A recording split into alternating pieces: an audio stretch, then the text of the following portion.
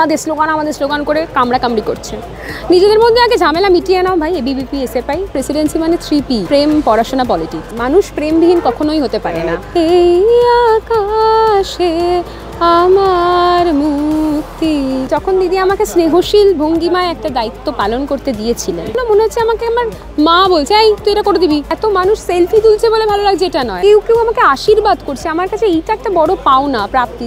একুশে জুলাই ধর্মতলার মঞ্চ সামনে প্রচুর ভিড় জমেছে। ঠিক সেখানেই একটি মেয়ে বক্তব্য রাখতে উঠলেন। মমতা বন্দ্যোপাধ্যায় সম্পর্কে তিনি দিলেন এক বিখ্যাত স্লোগান। তারপরেই ভাইরাল রাজন্যা।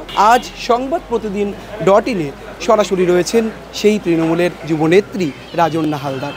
রাজন্যা আপনাকে সংবাদ প্রতিদিন ডিজিটালে স্বাগত। নমস্কার। এখানে আমার প্রথম প্রশ্ন আপনি প্রেসিডেন্সি ইউনিভার্সিটির ছাত্রী। মূলত প্রেসিডেন্সি ইউনিভার্সিটির ছাত্রছাত্রীরা বামপন্থা ঘেঁষা বামপন্থীদের সঙ্গে তারা মূলত কাজ করেন এসএফআই বা বিভিন্ন রকমের বামপন্থী রাজনৈতিক দল। সেখান থেকে দাঁড়িয়ে আপনি এইভাবে উঠে এলেন তৃণমূলের হয়ে, টিএমসিপির হয়ে। চাপ হলো না? খানিকটা সমস্যার মধ্যে পড়লেন না? না, আমি কোনোভাবেই এটা মনে করি না যে প্রেসিডেন্সি বিশ্ববিদ্যালয় মানেই সেটা বা মাতুর ঘর কিংবা অতি বা মাতুর ঘর, একদমই নয়। তবে হ্যাঁ চাপ যদি বলেন, ওই পার্টিকুলার কয়েকজন ওই বাম অতি বাম মনস্ক কয়েকজন, দু চারজন গুটি কয়েক, তারা একটু সমস্যা করেছিল, তারা বিভিন্ন রকমভাবে হেনস্থা করার চেষ্টা করেছিল। আমি কেন? আমার পরবর্তী যারা ভাই বোনেরা রয়েছে, তাদের উপরও অত্যাচার করেছে।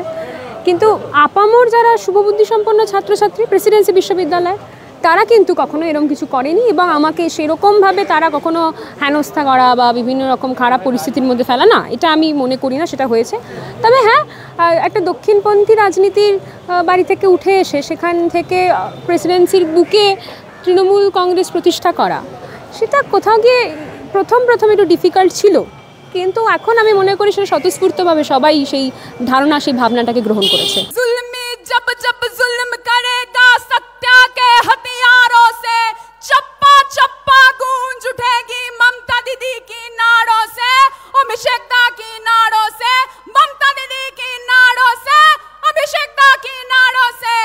একুশে জুলাইয়ের মঞ্চ।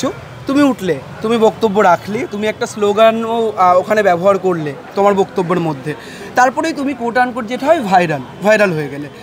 ওই যে স্লোগান, সেটা নিয়ে তুমি নিশ্চিত জানো যে সেখানে বিতর্ক হচ্ছে, তুমি এভিভিপি স্লোগান মানে চুরি করেছ, বা এসএফআই থেকে বলা হচ্ছে রাজন্যা অন্যের স্লোগান নিয়ে বলছেন, অন্যের স্লোগান নিয়ে ভাঙচুর মানে নিজে ভাইরাল হচ্ছেন। সেখানে দাঁড়িয়ে তুমি কি বলছো? সত্যি কি তুমি অনুকরণ করেছিলে? আমি প্রথমে ওদের উদ্দেশ্যে বলব, যারা এই বিষয়টিকে নিয়ে আমাদের স্লোগান আমাদের স্লোগান করে কামড়াকামড়ি করছে, নিজেদের মধ্যে আগে ঝামেলা মিটিয়ে নাও ভাই এবিবিপি এসএফআই কার স্লোগান কে বলবে বলে নাও, তারপর আমি বলব যে স্লোগান কখনো কারোর ব্যক্তিগত ফ্র্যাঞ্চাইজি হয় না, কারণ এই যে স্লোগান উঠে আসা, এই স্লোগান কিন্তু স্বতঃস্ফূর্ত ভাবধারা, সেই ভাবধারার কিন্তু বহিঃপ্রকাশ। স্লোগান কোনো দলের হতে পারে না, কোনো ব্যক্তি মানুষের হতে পারে না স্লোগান যখন একটা মঞ্চে বা একটা জনসমাবেশে ওঠে তখন সেই স্লোগান সবার স্লোগান। সেই স্লোগান ওই জনসমাবেশে ওই জনপ্লাবনে থাকা প্রত্যেকটি মানুষের স্লোগান। দেবাংশু ছিলেন সুদীপ ছিলেন এরকম অনেক নেতারা ছিলেন। প্রত্যেককে ছাপিয়ে দু হাজার তেইশের একুশে জুলাই মঞ্চে।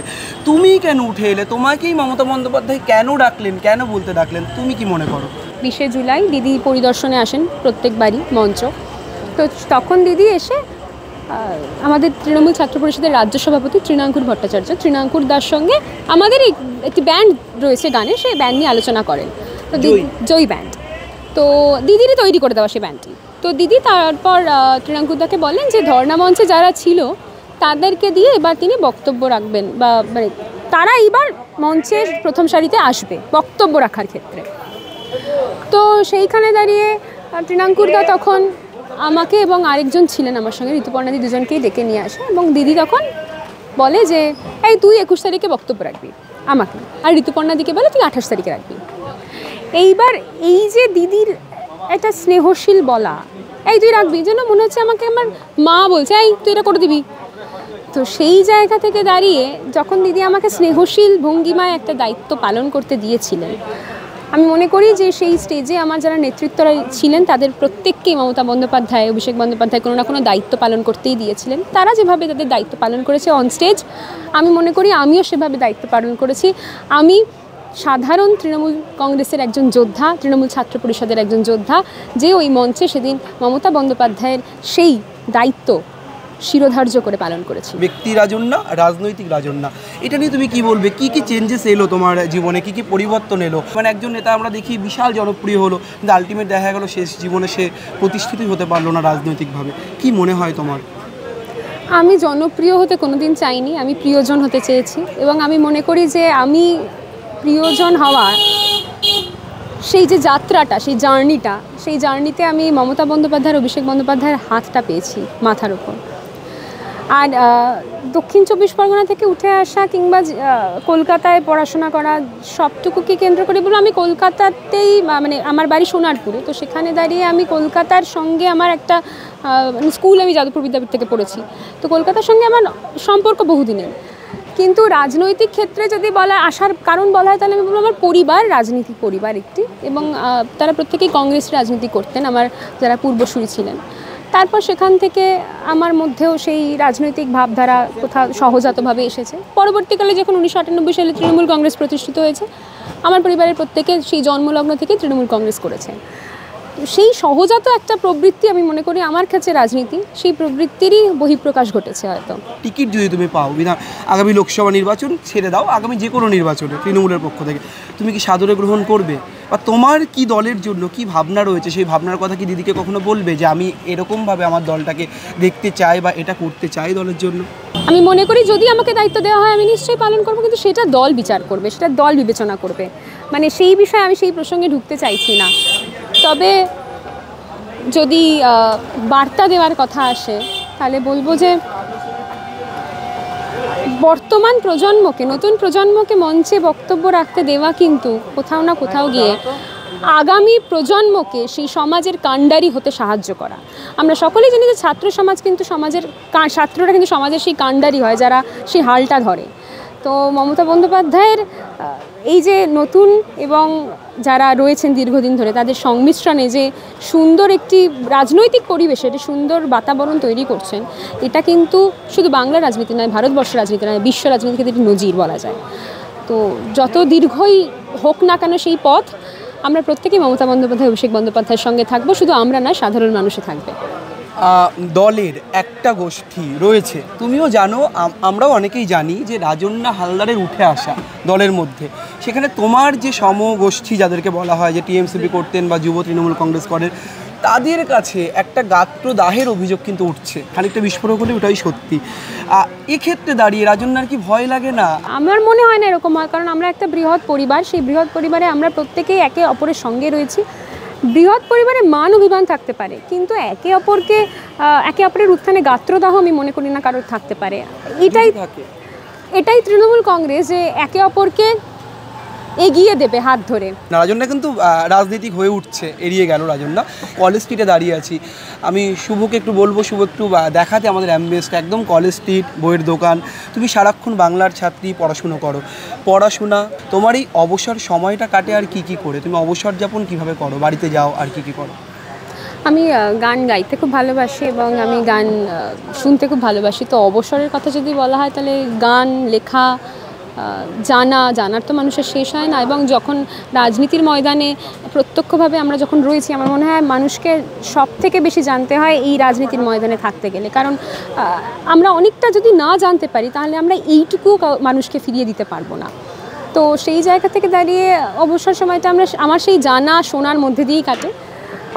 আর পড়াশোনা, পলিটিক্স, আমাদের প্রেসিডেন্সির বিশ্ববিদ্যালয়ে যখন আমরা পড়াশোনা করতাম, আমাদের বলা হতো প্রেসিডেন্সি মানে থ্রি পি প্রেম, পড়াশোনা, পলিটিক্স।